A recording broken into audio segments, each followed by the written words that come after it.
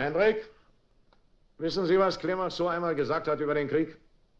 Äh, nein, nein, das ist mir im Moment nicht gegenwärtig. Nein.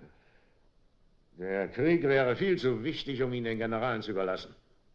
Damals, als er das sagte, vor 50 Jahren, hat er vielleicht recht. Aber heute ist er zu wichtig, um ihn den Politikern zu überlassen. Da sie weder die Zeit haben, noch die Erfahrung, noch die geringste Fähigkeit zum strategischen Denken.